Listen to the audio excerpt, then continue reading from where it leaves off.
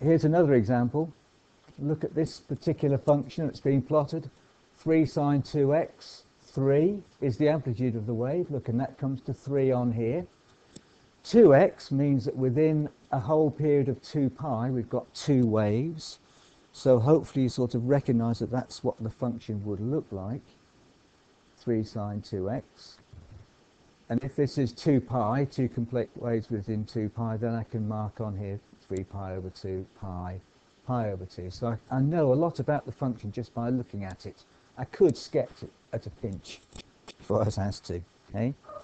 And now what I'm after here is the integral between naught and pi over 2, between naught and pi over 2, i.e. I'm finding the area between naught and pi over 2. So that's how I'd show it. And how do we do it? Exactly the same way as we just did the previous example. We integrate it and then we put in the limits. But this time we're going to ignore c. Something you really have to be careful in trigonometric functions about is what? When I put the limits in, what have I got to be careful of? On the calculator.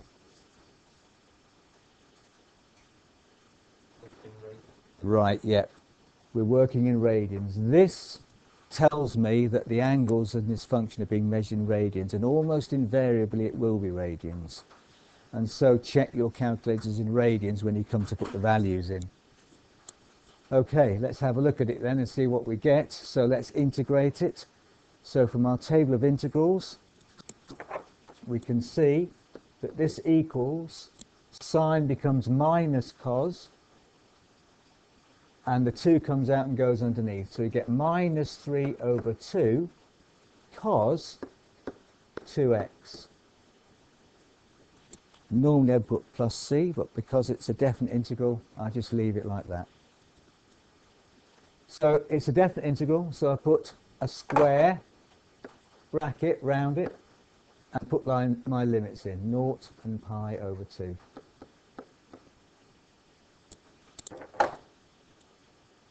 What's going to change in this is x, which is pi over 2 or naught. And that's going to change this part of the function. So I'm going to put in the pi over 2, work out what the cos of 2 times pi over 2 is, and then times that answer by minus 3 over 2. And then I'm going to work out what the cos of 0 is, and times that answer by minus 3 over 2. So actually, that minus 3 over 2 is common to both terms. Any constant that when you've done your integral could actually come outside the bracket.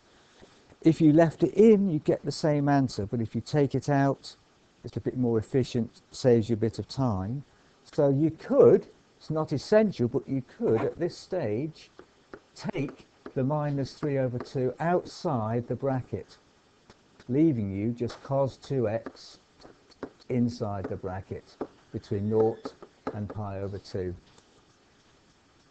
one of the dangers of doing that is you're going to go ahead and carry on and work out what the cos of 2x is and put those limits in and then forget at the end to multiply your answer by minus 3 over 2 so you know beware.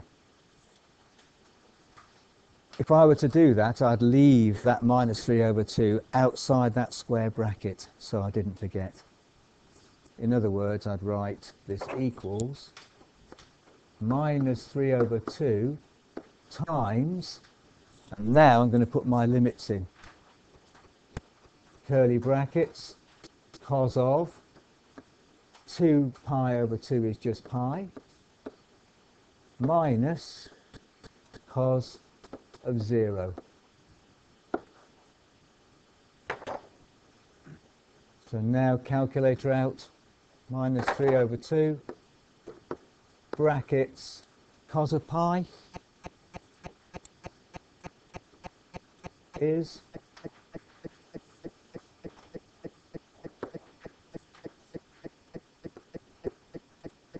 and cos of 0. Right. Now we've got to be a little bit careful of signs, haven't we?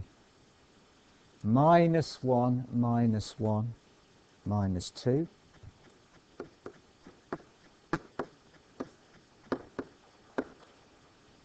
And minus 3 over 2 times minus 2. The 2's effectively cancelled. Minus times a minus is a plus. So this equals 3. And that's the area underneath the curve. Answer's 3. So answer's 3. Let's just look back a sec, though, at this. We have here a situation where if we look at this cosine function here, if I have in my mind a cosine function, then I know that that's 2 pi and that's 1. If, if I was plotting cos x, that's what it would look like. So actually, you really don't need a calculator for this part of the question. Of course, in an exam, I'd always use a calculator just to make sure I had it. But I knew that the cos of pi was going to be minus 1, because if you look at this function here, if that's naught, and that's 2 pi, then this must be pi, and that's minus 1. So cos of pi is minus 1. Cos of 0, there's cos of 0, it's just 1. So that's why they come out to be nice, easy numbers. Okay.